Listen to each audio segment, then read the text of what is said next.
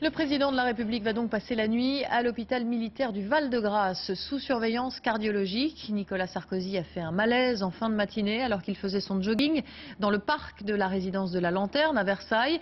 L'Élysée a communiqué très vite et tout au long de la journée, surtout pour rassurer. Le chef de l'État a même reçu ses principaux collaborateurs pour, selon son entourage, se tenir au courant de l'actualité. Frédéric Crottard, Arnaud Comte, Christophe Quinck.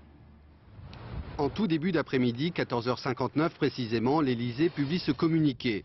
Alors qu'il faisait du sport, le président a eu un malaise et a été immédiatement pris en charge par son médecin.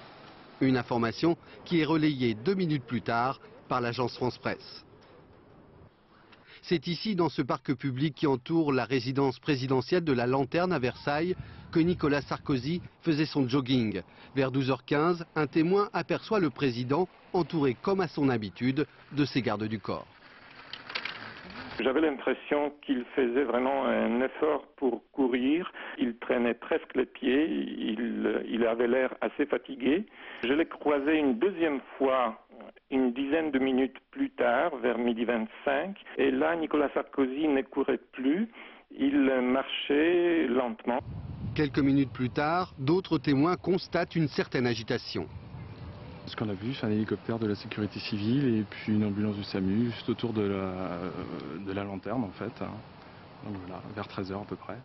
Victime d'un malaise vagal, le président est ensuite transporté par hélicoptère de Versailles à l'hôpital du Val-de-Grâce à Paris pour y subir des examens médicaux.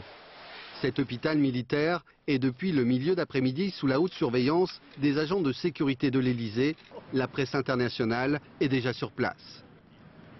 Quelques badauds se sont rassemblés devant l'Elysée ce soir où l'on ne constate aucun signe d'agitation.